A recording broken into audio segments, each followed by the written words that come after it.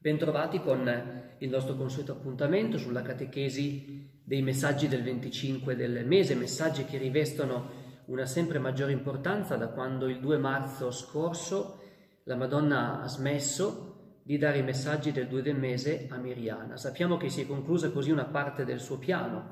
Possiamo dire che per 23 anni, dal 97 al 2020, con messaggi puntuali il 2 di ogni mese, ma in realtà da dieci anni prima, dall'87, con apparizioni il 2 del mese personali proprio a Miriana, la Madonna ha preparato quel grande popolo di individui che, come ha detto lei, non avevano ancora fatto esperienza dell'amore di Dio, per potersi avvicinare, per poter accogliere il suo invito alla conversione. L'ultimo messaggio sembrava proprio aver dato questa conferma quando diceva apostoli del mio amore, il vostro amore puro e sincero commuove il mio cuore materno.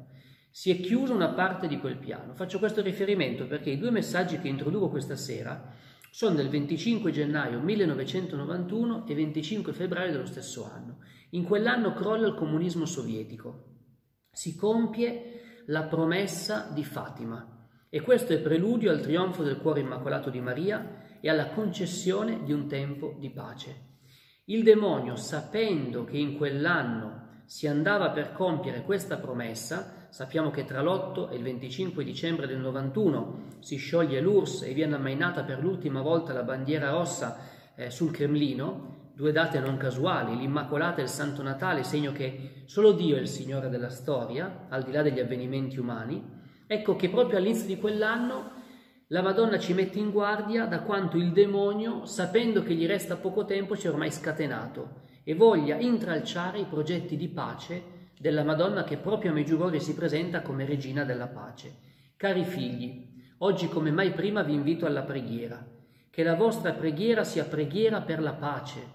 Satana è forte e desidera distruggere non solo la vita umana, ma anche la natura e il pianeta su cui vivete. Ecco che qui il riferimento è chiaro al doppio scopo del demonio, distruggere la vita umana, ma pensiamo anche a distruggere la vita eterna, portando le anime alla perdizione, e poi portare il mondo all'autodistruzione, distruggere il nostro pianeta. Anche in tempi recenti la Madonna ci ha detto che il demonio vuole distruggere il pianeta su cui camminiamo, però ha usato un'espressione ancora più forte che ci fa capire quanto siamo vicini al tempo dei segreti. Non si è limitata a dire Satana è forte, ma ha detto Satana regna, come se fosse per arrivare ormai all'apice del suo potere nel primo combattimento escatologico, quello proprio segnato dall'opposizione tra la donna e il dragone infernale nel tempo dei segreti. Come riuscire a resistere a tanta furia, intanto sapendo che anche eh, la scrittura ci mette in guardia. Al capitolo 12 dell'Apocalisse parla del, eh, del demonio, Satana, eh, il serpente antico, il diavolo che è precipitato sulla terra dopo aver perso con San Michele Arcangelo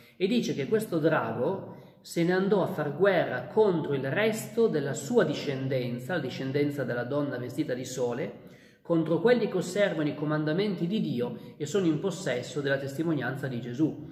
Cioè, lo scatenamento satanico che ha colpito eh, che ha preso di mira la Madonna e Gesù, e sappiamo come è andato sotto la croce, perché il demonio pensava di aver vinto quel venerdì, eh, non sapeva che la croce sarebbe poi ribaltata nella sua peggior sconfitta, questo potere di attaccare l'umanità e la creazione ce l'avrà il demonio fino alla fine dei tempi. Ecco perché la scrittura ci aiuta a essere in guardia. Infatti anche Gesù stesso mette in guardia i suoi, capitolo 26 di Matteo, pregate per non cadere in tentazione. E ancora il capitolo 21 di Luca, pregate in ogni momento perché abbiate la forza di sfuggire a ciò che deve accadere. Come dire, gli avvenimenti terribili di cui parlava Gesù nei suoi discorsi apocalittici, di cui eh, sappiamo parlano i segreti che la Madonna ha consegnato ai veggenti a Meggiugorie, questi avvenimenti accadranno però possiamo sfuggire alle conseguenze più nefaste, cioè a quella perdita della fede che ci porterebbe all'incredulità e quindi a seguire la strada che il demonio spiana davanti a noi, invece che scegliere quella porta stretta che porta alla salvezza. La Madonna ci esorta a essere protetti dalla preghiera. Prosegue il messaggio del 25 gennaio 91, perciò cari figli pregate per poter essere protetti attraverso la preghiera con la benedizione della pace di Dio. Dio mi ha mandato tra voi per aiutarvi. Se volete afferrate il rosario, già solo il rosario può fare miracoli nel mondo e nella vostra vita. Questo è un bellissimo eh, trattato sintetico sulla preghiera. La miglior conferma di quanto questi messaggi non possono che essere soprannaturali viene dalla ricchezza dei temi che vengono trattati in maniera estremamente sintetica. Un uomo non è capace a fare così. E io posso perdere tempo e parole a commentare cose che forse sarebbe sufficiente leggere. Il rosario fa miracoli nel cambiare il mondo e la nostra vita. Quindi la preghiera ottiene grazie per il mondo e ottiene la conversione del nostro cuore. Ecco a cosa serve la preghiera.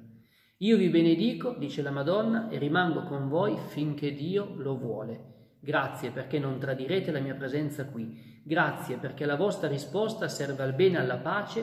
Grazie per aver risposto alla mia chiamata. Ecco, questo è proprio un incoraggiamento. La preghiera protegge, il rosario soprattutto, ricordiamo quando Padre Pio parlava del rosario come l'arma più potente da impiegare contro il demonio, però bisogna decidersi. Ecco allora che il mese successivo, 25 febbraio del 91, così incomincia la Madonna. Cari figli, oggi vi invito a decidervi per Dio, perché l'allontanamento da Dio è frutto della mancanza di pace nei vostri cuori. Il demonio cerca di metterti agitazione, cerca di darti inquietudine, di confonderti, ti tenta col pensiero che se tu smetti di pregare ti lascerà tranquillo. Allora ti manca la pace e tu cosa fai? Per stare tranquillo ti allontani da Dio, mentre dovresti fare esattamente il contrario. Per questo avvicinatevi a Lui tramite la vostra preghiera personale, dopo vivete la pace nei vostri cuori. Se aspetti di essere in pace per poter cominciare a pregare non pregherai mai. Se aspetti di essere tranquillo, pronto, sereno, adesso appena, appena mi decido, poi domani, non domani, adesso, la Madonna parla del momento presente come il momento decisivo per la tua conversione. Incominci a pregare, apri il cuore a Dio e Lui che è il Re della pace porterà pace nel tuo cuore e non soltanto al tuo. Infatti prosegue la, resi- la Regina della pace, così la pace dai vostri cuori potrà correre come un fiume in tutto il mondo. Non parlate di pace, ma praticatela. Io benedico ognuno di voi e ogni vostra buona decisione Grazie per aver risposto alla mia chiamata. Ecco, la cosa essenziale di questo messaggio è che si conclude con un invito molto pratico.